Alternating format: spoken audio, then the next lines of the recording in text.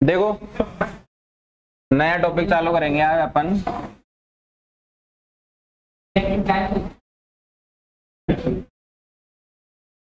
Electrochemistry chemistry chemistry तो already है। वैद्युत रसायन।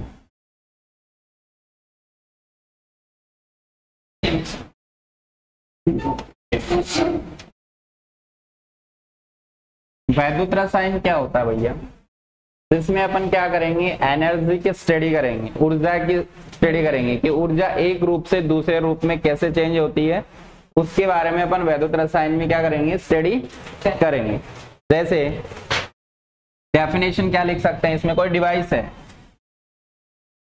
ये क्या है? एक डिवाइस है अपने पास। चैप्टर बिल्कुल। Third chapter. एक एनर्जी होती है अपने पास। Chemical energy. कौन सा एनर्जी है?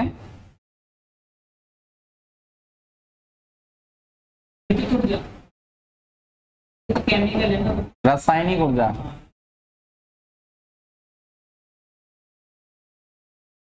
क्या है? Chemical energy. और इधर हम लिख देते हैं इलेक्ट्रिकल एनर्जी।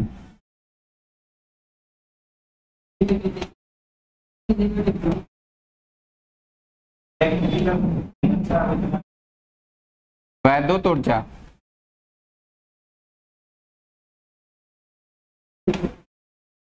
और इसका रासायनिक ऊर्जा।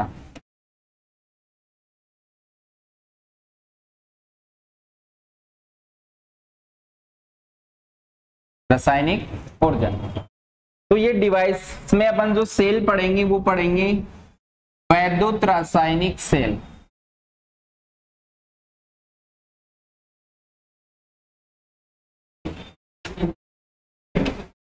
वैद्युत रासायनिक सेल।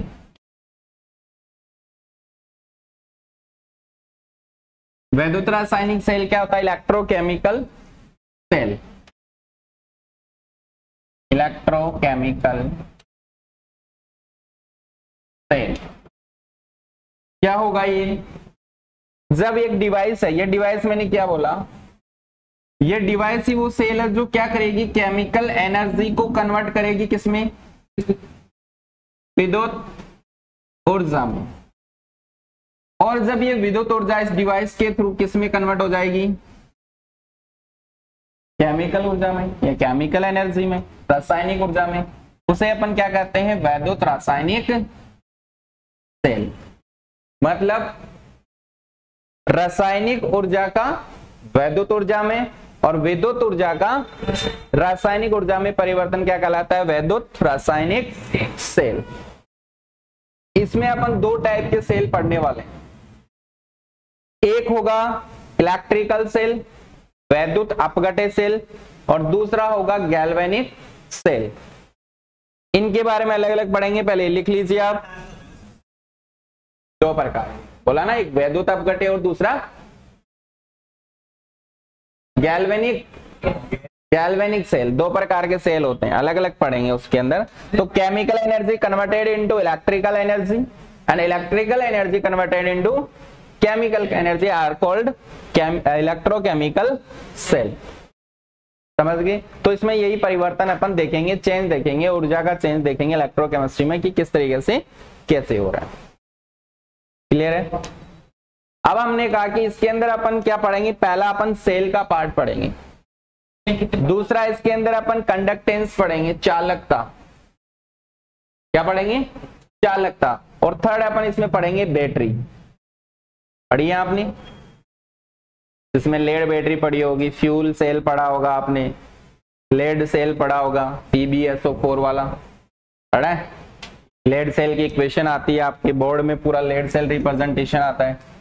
क्लियर है ये लिख लिया सबने? देखिए आगे। अब हमने कहा कि सेल कितने टाइप के होते हैं? ये कौन सा सेल है? बायोलॉजी वाला सेल नहीं है वाला सेल है। बायोलॉजी में भी सेल ऐसे लिखते हैं। कोशिका ये क्या है? सेल कितने प्रकार के बताए हमने अभी? दो प्रकार। एक जो सेल होता है, वो हमने कहा कि कौन सा होता है? वैद्युत अपघटित सेल। कौन सा होता है?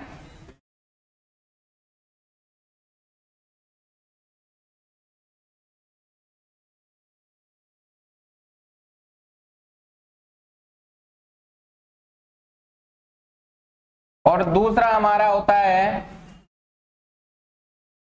Galvanic cell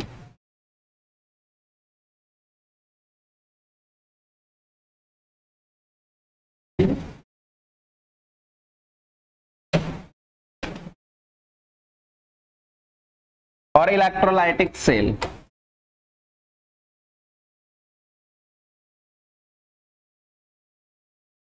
electrolytic cell electrolytic cell कौन से होंगे बेटा?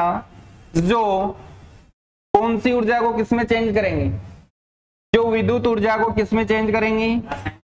रासायनिक ऊर्जा में।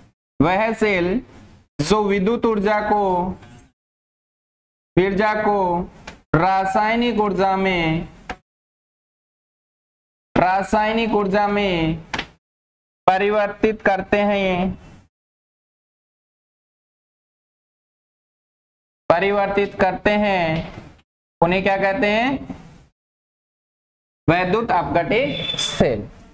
गैल्वेनिक्स इंग्लिश में लिख लेना आप electrical energy convert to chemical energy are called electrolytic cell. Electrical energy convert into chemical energy are called electrolytic cell. Next इधर देखो गैल्वेनिक सेल क्या होगा। गैल्वेनिक सेल वो होगा जो केमिकल एनर्जी को, बोले तो रासायनिक ऊर्जा को, रासायनिक ऊर्जा को विद्युत ऊर्जा में परिवर्तित परिवर्तित कर देता है। उन्हें कौन सा सेल कहते हैं? Galvanic cell. इसके अंदर एक एनोड होता है और एक कैथोड होता है। क्या होता है? एक एनोड और एक कैथोड होगा। जब बैटरी बनाएँगे तो उसमें सेल होगा, उसमें एक पॉजिटिव होता है और एक नेगेटिव होता है। अब पॉजिटिव और नेगेटिव कैसे लेंगे? जैसे इसकी बात करूँ मैं, इसमें एनोड और एक क्या होगा? कैथोड उधर भी क्या होगा? एक एनोड होगा और एक कैथोड होगा। अगर मैं एनोड और कैथोड की बात करूँ तो इसके अंदर इलेक्ट्रोलाइटिक सेल के अंदर जो एनोड होता है, वो हमेशा पॉजिटिव होता है। कैसा होता है? पॉजिटिव होता है और कैथोड होता है, वो कैसा होता है? नेगेटिव होता है। बट याद रखना, हमेशा वैसे एनोड पॉजिटिव ही होता है। लेकिन गैल्वेनिक सेल के अंदर जो एनोड होता है, वो कैसा होता है? नेगेटिव होता है माइनस होता है नेगेटिव होता है। और जो कैथोड होता है, वो कैसा होता है? पॉजिटिव होता है। ये क्यों होता है? हम जब गैल्वेनिक सेल पढ़ेंगे तो उसका एक्सप्लेनेशन देंगे। बट अभी आपको ये डिफरेंसेस करवा रहे हैं, जिसमें आपको आइडेंटिफाई हो जाए कि कौन सा इलेक्ट्रोलाइटिक सेल होता है और कौन सा केमिकल सेल होता है।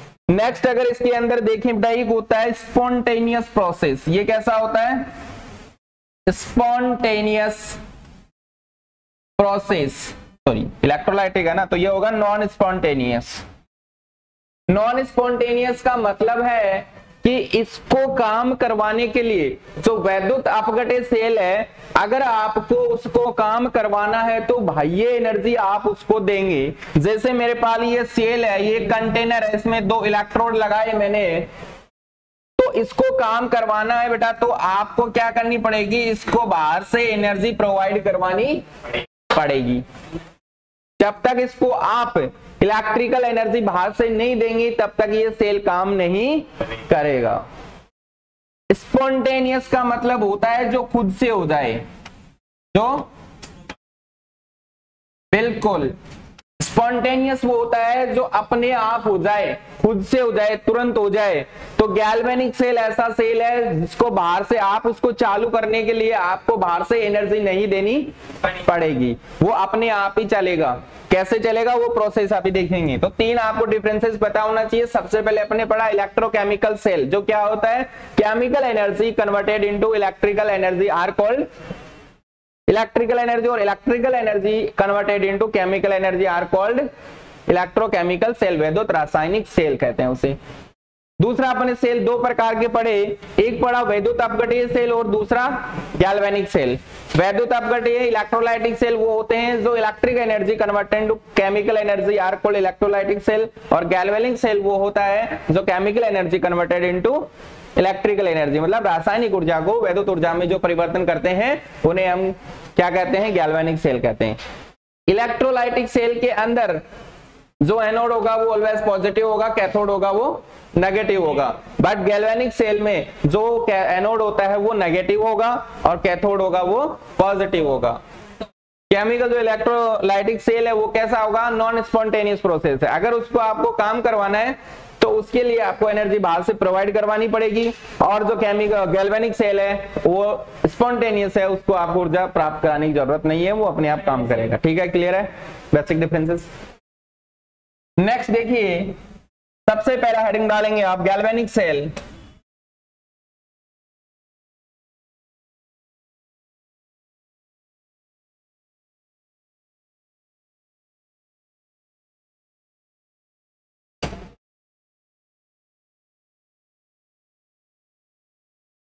क्या है? गैल्वेनिक सेल अब इसके अंदर हम देखेंगे कि गैल्वेनिक सेल कैसे काम करता है।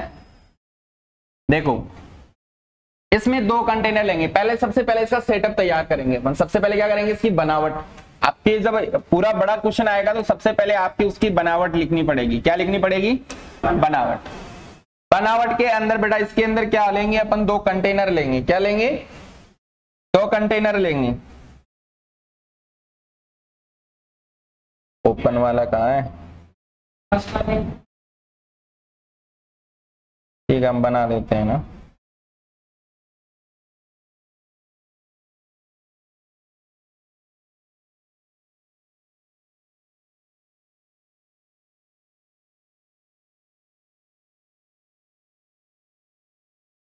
एक कंटेनर इधर ले लेंगे आप।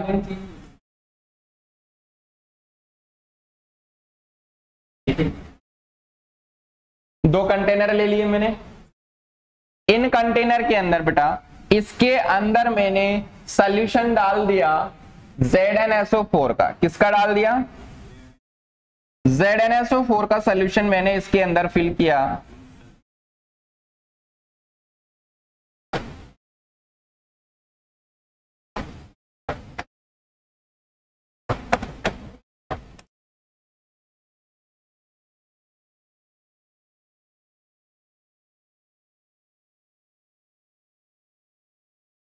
ZnSO4 का सॉल्यूशन और इसके अंदर मैंने कॉपर सल्फेट का सॉल्यूशन भर दिया। किसका सॉल्यूशन भर दिया?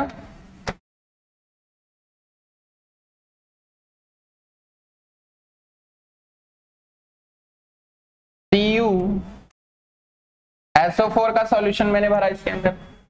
ठीक है, दो कंटेनर ले लिए, उनमें एक में जिंक सल्फेट का सोल्यूशन और एक में कॉपर सल्फेट का सोल्यूशन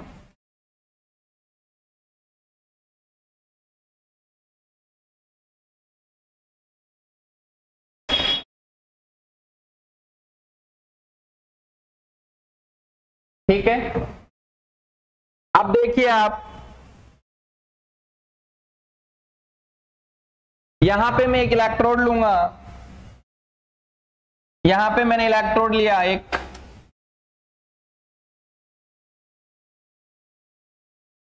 जिसमें, जिसका सॉल्यूशन है, उसी का इलेक्ट्रोड लेंगे तो मैंने ये इलेक्ट्रोड ले लिया जिंक का। कैसा ये? जिंक इलेक्ट्रोड क्या ले लिया बेटा? जिंक इलेक्ट्रोड और इसमें मैं कैसा इलेक्ट्रोड लूँगा?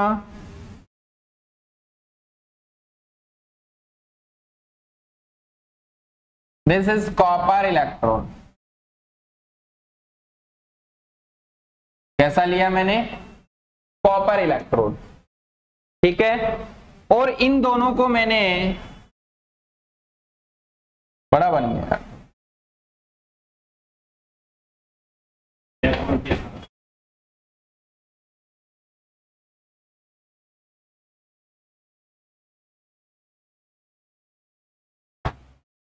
इन दोनों को मैंने क्या कर दिया? एक वायर से कनेक्ट कर दिया और बीच में गैल्वेलोमीटर या वोल्टमीटर अपन लगा सकते हैं रीडिंग के लिए। यहाँ तक किसी को कोई प्रॉब्लम है क्या? नहीं है। इतना सेटअप तैयार हो गया भैया। अब क्या होगा? जब मैंने जिंक सल्फेट का सोल्यूशन लिया तो इलेक्ट्रोकेमिकल सीरीज़ होती है उसके अंदर जो जिंक होता है, वो मोर रिएक्टिव होता है कंपैरिजन टू कॉपर और जो ज़्यादा रिएक्टिव होता है, क्रियाशील होता है, उसका होता है ऑक्सीकरण क्या होता है?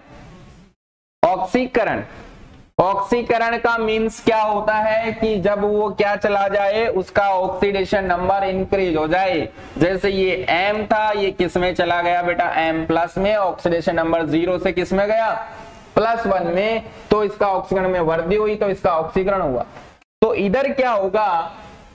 जो जेड एन है, इस सोल्यूशन के अंदर क्या पड़ा है? जिंक पड़ा है। अरे जिंक पड़ा है ना।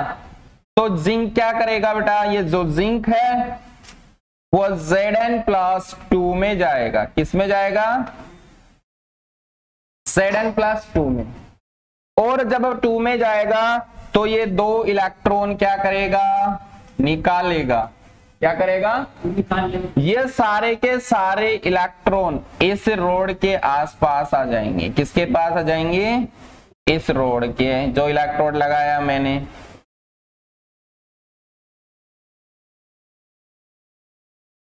तो ये इलेक्ट्रॉन जब इसके आसपास आए तो कैसा चार्ज हो गया? ये जो इलेक्ट्रोड है, कैसा चार्ज नेगेटिवली चार्ज कैसा हो गया? और जब इसका ऑक्सीडेशन होता है ऑक्सीडेशन कहाँ होता है भैया? अरे ऑक्सीडेशन किस पे होता है हमेशा? ये बात याद रखना। ऑक्सीडेशन होता है एनोड पे। किस पे होता है? याद कैसे रखोगे? जब विजय लोकेश को बुलाएगा। ओए विजय, इधर आ। ओ, ए। कौन बोलेगा? ओ, ए। ओ इधर आ। मतलब एनोड पे क्या होगा बेटा जी? ऑक्सीडेशन होगा, ऑक्सीकरण होगा। तो एनोड लिख दू मैं इधर। इधर मेरा क्या है? एनोड। और बेटा मैंने बोला कि इस रोड पे कैसा चार्ज हो गया? नेगेटिव अरे जब जिंक जिंक प्लस में टू जा रहा है, ऑक्सीकरण हो रहा है तो नेगेटिव चार्ज आया ना? दो दो इलेक्ट्रॉन निकाल रहा है ये। तो रिंग के चारों तरफ़ क्या आ गया? नेगेटिव चार्ज आ गया, और ये रोड नेगेटिवली चार्ज हो गई। इसलिए गैल्वेनिक सेल के एनोड पे कैसा चार्ज होता है? नेगेटिव चार्ज होता है। अब आपको पता है भैया, जब इलेक्ट्रॉन क्या करेंगे? इलेक्ट्रॉन पुशअप करेंगे इधर। तो जाएगा इलेक्ट्रॉन इधर। गया इलेक्ट्रॉन इलेक्ट्रॉन जाएगा इसके पास। हमने कहा कि कॉपर क्या करता है? रिडक्शन करता है। कॉपर क्या करता है? तो कॉपर यहाँ कॉपर प्लस टू में है बच्चा। और ये किसमें जाएगा? प्लस दो इलेक्ट्रॉन गेन करके ये किसमें जाएगा? कॉपर सॉलिड में चला जाएगा। तो ये इलेक्ट्रॉन ले, ले रहा है इधर।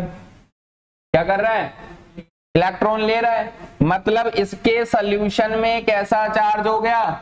इलेक्ट्रॉन तो ले रहा है। तो इसकी रोड पे सब कैसे चार्ज हो गए copper copper copper plus copper plus था। अभी कोई इलेक्ट्रॉन है क्या? तो इसकी जो रोड हो गई, वो कैसी चार्ज हो गई? पॉजिटिवली चार्ज और ये इसको कैथोड पे क्या होता है? अरे रिडक्शन होता है। तो ये कैथोड है कैथोड पे रिडक्शन और कैथोड कैसा हो जाएगा? इसका पॉजिटिवली चार्ज तो इलेक्ट्रॉन इधर से इधर को आया तो करंट किधर जाइएगी भैया? अपोजिट डायरेक्शन में। अगर इलेक्ट्रॉन इधर से इधर को आ रहे हैं तो करंट किधर जाएगी? इधर जाएगी। क्लियर है यहाँ तक? दो सेटअप लिया, इसमें ZnSO4 का सॉल्यूशन इसमें कॉपर सल्फेट का सॉल्यूशन लिया, इसमें जिंक रोड लगाई, इसमें कॉपर रोड लगाई। जिंक का ऑक्सीडेशन होता है क्योंकि जिंक अधिक क्रियाशील है कॉपर की तुलना में, और जो ज़्यादा क्रियाशील होते हैं ना, उनका ऑक्सीकरण होता है, और ये ऑक्सीकरण हो गया। तो दो इलेक्ट्रॉन लूज किए इसने, वो इसकी रिंग के चारों तरफ़ आए। तो इसका सोल्यूशन कैसा चार्ज है भैया? पॉजिटिवली चार्ज है इसका इलेक्ट्रोड कैसा है? नेगेटिवली चार्ज है। मतलब सोल्यूशन में किसके आइंस बढ़ गए इधर? अरे जेड एन के आइन बढ़ गए ना। जेड एन प्लस टू हो गया ना हर जगह। मतलब जेड एन ज़्यादा यहाँ पे एसओ फोर से।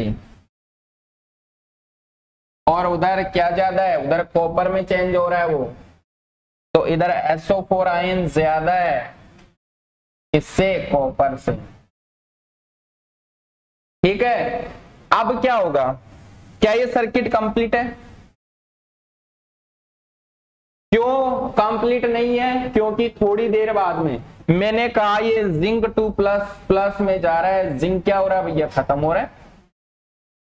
रिडक्शन हो गया जिंक ऑक्सीजन हो गया जिंक तो क्या हो रहा है? खत्म हो रहा है। थोड़ी देर बाद में ये रोड ही नहीं रहेगी। जब ना, बोलते हैं ना ना रहेगी बांसुरी। ना नहीं, ना रहेगा बाँस, क्या बोलते हैं? नहीं बजेगी बांसुरी। तो जब ये बाँस टूट जाएगा यहाँ से तो बांसुरी तो नहीं बजेगी। और इधर भैया ये मोटा हो जाएगा, क्योंकि इधर कॉपर डिपॉजिट हो रहा है। C U C U plus two C U C U C U में आ रहा है। कॉपर प्लस टू कॉपर में चेंज हो रहा है। ये मोटा हो जाएगा और ये पतला हो जाएगा। एक टाइम ऐसा आएगा सेल बंद हो जाएगा। तो ऐसा तो नहीं होना चाहिए। सेल तो कंटिन्यू चलता रहना चाहिए। तो इसके लिए क्या करेंगे आप? ऐसे इलेक्ट्रोलाइटिक लाएँगे जो इसके सॉल्यूशन को बैलेंस करेंगे, जो इसके आयन को बैलेंस करेंगे तो उसके लिए आता है सोल्ट ब्रिज नाम सुना है क्या? लवण सेतु। सुना है नाम? अरे नाम नहीं सुना क्या लवण सेतु का?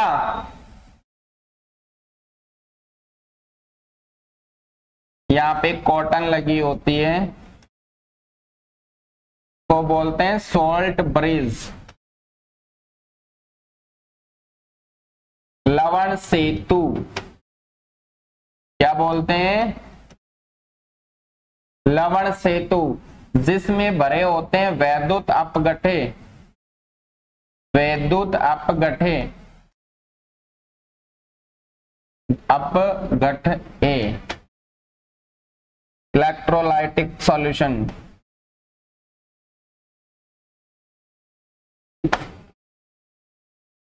और इसके अंदर प्रेजेंट होती है एगार एगार एगार एगार।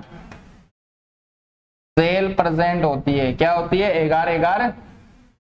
जैसे इसमें हो गया K N O three H C L K C L क्या इलेक्ट्रोलाइटिक है?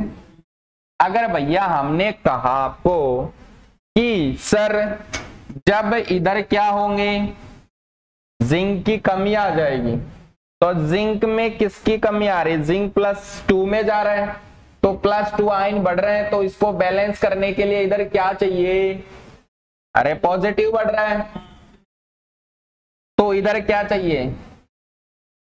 पॉजिटिव है तो नेगेटिव वाला चाहिए। तो इधर जैसे ये टूटेगा के प्लस और सी एल माइनस तो ये इसको बैलेंस करने के लिए इधर आएगा। जितने आयन इसके जाएँगे, उतने आयन प्रोवाइड करवाएगा। मान लो जेन प्लस टू है तो टू के प्लस आ जाएगा सी एल आएगा ना इधर? अरे इधर सी एल आएगा, क्योंकि प्लस वाला है। तो सी एल माइनस आ जाएँगे दो। इधर क्या है सोल्यूशन में? कॉपर तो कॉपर टू से कॉपर में जा रहा है बट एसओ फोर की कंसेंट्रेशन बढ़ रही है। अरे एसओ फोर बढ़ रहा है ना तो एसओ फोर कैसा है? नेगेटिव तो उधर कौन आ जाएगा भैया? के आ जाएगा। कौन आ जाएगा? तो ये लवण सेतु क्या करता है? इसके इनर्ट सर्किट को कंप्लीट करने का काम करता है। और अगर ये लवण सेतु नहीं होगा ना तो ये बैलेंस नहीं होगा बैलेंस नहीं होगा तो ये थोड़ी देर बाद ये सेल काम करना बंद कर देगा। बोलो क्लियर है ये सब? है? इस एगार से लवण सेतु के बारे में आपके पॉइंट आ सकते हैं तो इसको यू, उल्टे यू शेप की ट्यूब होती है, इसमें इलेक्ट्रोलाइट भरे होते हैं, एगार एगार जेल होती है, इसके कॉर्नर पे रुई लगी होती है, और इसका काम होता है सेल को बैलेंस करना और इसके इलेक्ट्रोलाइट इनर्ट सर्किट को कंप्लीट करना। इस तरीके से ये पूरा सेल काम करता है तो इस पे अब इसकी रिएक्शन है कुछ। ये लिख लिया सबने। ये बनाना है आपको, मैं आगे इसकी कुछ रिएक्शन बता देता हूँ। जैसे अपन ने क्या लिखा? एट एनोड एट तो एनोड पे क्या हुआ था बेटा? जिंक था। वो किसमें जा रहा था? जेड एन प्लस टू में। और एट कैथोड पे क्या हो रहा था? जो कॉपर प्लस टू था, वो किसमें जा रहा था? कॉपर सॉलिड में। इसने टू इलेक्ट्रॉन डोनेट किए और इसने दो इलेक्ट्रॉन लिए। इलेक्ट्रॉन से इलेक्ट्रॉन कर जाएगा तो सेल रिएक्शन क्या आ जाएगी? क्या आ जाएगी भैया?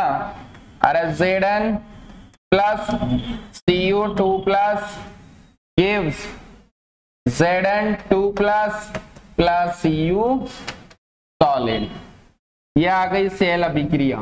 क्या बोलते हैं इसे? सेल अभिक्रिया। और ये है हाफ़ सेल रिएक्शन ये क्या है? हाफ़ सेल रिएक्शन अर्ध सेल अभिक्रिया और ये भी अर्ध सेल अभिक्रिया है। क्या है? हाफ़ सेल रिएक्शन और जब इन दोनों को जोड़ देंगे एनोड और कैथोड को तो टोटल जो कंप्लीट सेल रिएक्शन अपने को मिलेगी। जिंक देखो यहाँ पे ज़ीरो था, ज़ीरो से प्लस टू में जा रहा है। ऑक्सीडेशन नंबर क्या हो रहा है बेटा? इंक्रीज हो रहा है, बढ़ रहा है। मतलब इसका ऑक्सीडेशन हो रहा है। क्या हो रहा है? ऑक्सीडेशन हो रहा है। ये प्लस टू से ज़ीरो में जा रहा है। ऑक्सीडेशन नंबर अंक में कमी हो रही है मतलब इसका रिडक्शन हो रहा है। तो ये पूरा डेनियल सेल है, पहले इसकी आपको बनावट लिखनी होती है, फिर पूरा सेटअप बनाना होता है। फिर पॉइंट लिखनी होती है कि जो धारा है वो किधर से किधर को जा रही है? कैथोड से एनोड की ओर। और, और इलेक्ट्रॉन किधर जाते हैं? अरे इलेक्ट्रॉन किधर से जा रहे हैं? एनोड से कैथोड की ओर। एनोड कैसा है? Negative charge. कैथोड कैसा है? Positive charge. और लवण सेतु का काम क्या है? किस तरीके से रिएक्शन हो रही है? वो सब आपको बताना है इसमें। और फिर सेल रिएक्शन लिखनी है। Half cell reaction at anode पे half cell reaction at cathode पे, फिर नेट सेल रिएक्शन लिखनी है नेट अभिक्रिया। वो आपको मैंने लिख के बता दी। तो कल इसके नोट्स आप यहाँ तक तैयार करके लाओगे, पूरा सेटअप बना के लाओगे और कंप्लीट करके लाओगे। ठीक है? आ गए होंगे आपके सर